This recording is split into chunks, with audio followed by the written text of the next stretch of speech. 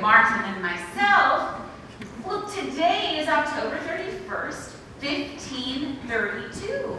You know what that means, right?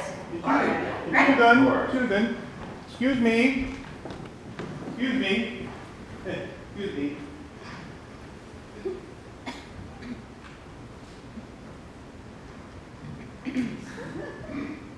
Yes.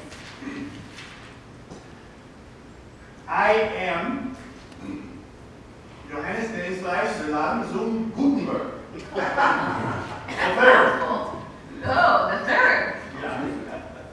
And uh, I am, well, you can call me Stanislaus. Oh, Mr. Stanislaus. I, I am with the press. The press. The Gutenberg press.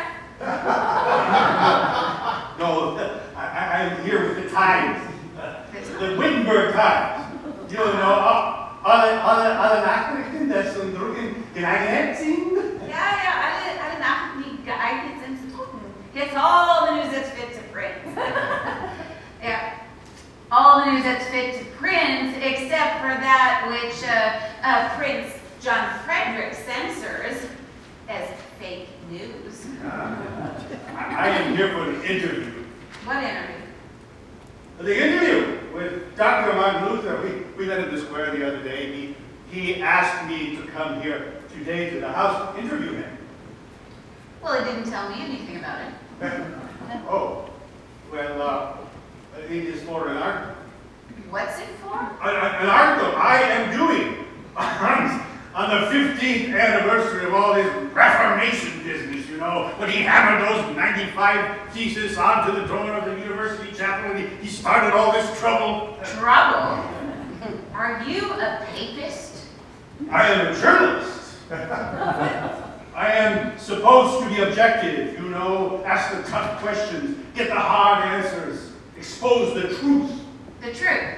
You want the truth. Yes. Well, let me go see if the truth is available. Martin! Martin, hast du Zeit für einen Journalisten? Lord, Lord. Yeah, I'm busy. You're busy. What you doing? Well, I'm writing my sermon, of course, but I, I, there's a baseball game on, too. The great table is set at the Black Monastery tonight for the 15th anniversary of the Reformation of the Church.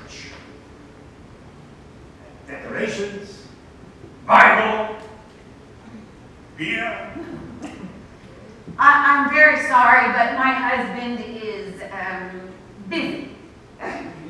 Busy. Yes, he's busy, very busy. Oh, uh, very uh, busy. Well, then, um, all right then. Um, but he did say he would come out as soon as he's done. Uh, would you like to wait? Oh yes, yes, that would be that would be nice uh, for the Wait for the interview? interview. Yes, Yeah. I, I need to. Um, For the interview. yes, You're here for the interview. yes, I'm here to interview. For the interview? Uh, yes, interview. Well, how about uh, you interview me in the meantime? You. But I write the news, not not the ladies' column. Well, it's me or nothing at all. All right then, all right. Uh, I suppose I could start with you, please.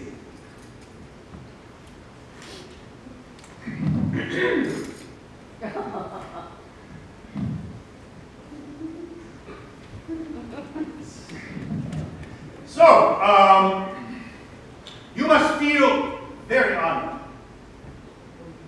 to be married to a man like Martin Luther. Oh, you mean to say that he must feel very honored to be married to me? Oh, uh, yes. Um, so, uh, uh, what is it really like to be up close and personal with Dr. Martin Luther? Well, that might be news. But I don't think that's fit to print. Oh, well, um, looks like everything is ready for your anniversary gala tonight. Of course. So, whose gown will you be wearing on the red carpet tonight? Whose gown? Well, whose do you think? Empress Isabella's? what kind of a question is that? You call yourself a journalist. Yes. I am a journalist. Well, if you're a journalist, then ask some real questions. Real question? Yes, real questions. You want real, you want real questions. I want real questions. All right, all right. I will ask you some real questions. Real questions. All right, real question. Yes. What would you say were the greatest achievements of the Reformation thus far? That's easy. Teaching. Teaching. Yes, teaching. Teaching people about the freedom that comes from the gospel of Jesus Christ. The grace of God. Teaching people to, to study the scriptures in their own language. Teaching people that because we are freed by Jesus Christ, we are now free to serve. Wait, but I missed that last bit. Yeah, yeah. Because we are freed in Jesus Christ, we are freed to serve freely. right. Yes, We. we, we are, are free to serve freely.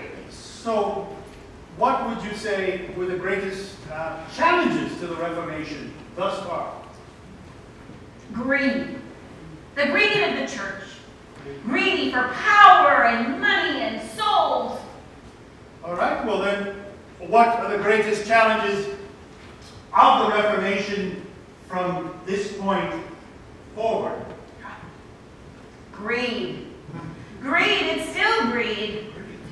My husband preached the other day that greed is the great spiritual problem of our day. Oh. Yes, you see, now that people understand that they are free, that they've been freed in Jesus Christ, well, once they know that they can't buy their way into a right relationship with God, they don't have to pay for indulgences, and they can't do good works to earn their way, they get greedy. They tighten their purse strings, and they try to make money hand over fist and keep it for themselves. Yes, they're greedy. Let me show you. Excuse me, can I have your wallet? No, no. How about you? Can I have your wallet? Oh, maybe there's some hope here. It's empty here. Let's see. Oh, can I see? Mind if I just take all of this green stuff? It looks a little different. How about you? Can I have your money, honey? Let's see if this works. The younger generation, maybe they're less greedy. Oh, there's nothing there. You probably spent all last night on, on like a pair of overalls or something. You see what I mean? People are greedy and they don't pay enough into the community chest anymore. How about, Community chest? yes, community chest. You do know what a community chest is for. I'm sure you'll tell me. Well, the community chest is what we use to help people who are poor and, and who can't earn enough money through work to pay for their housing or, or for food. Yes, we also use the community chest to pay for the salaries of all of the pastors on the territory. Yes, and for their widows too. But we don't have enough money. That's why we have so many of them here staying with us. I, I did not know about the shortage. Well, how about writing about How those? about, yes, I'd write about those. Yeah, if you call yourself a journalist. Yes. And and how about uh, about the housing problems? Housing? Yes. Well, I mean, the cost of housing in Wittenberg, it has skyrocketed. And I'm not making this up, this is real. Sounds familiar, doesn't it?